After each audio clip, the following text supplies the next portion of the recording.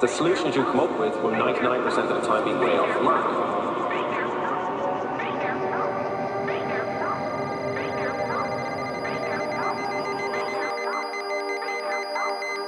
This is because magic is all about directing attention. If, for instance, I didn't want you to look at my right hand, well, then I don't at it. But if I wanted you to look at my right hand, then I look at it too. Very, very simple once you know how, but very complicated in other ways.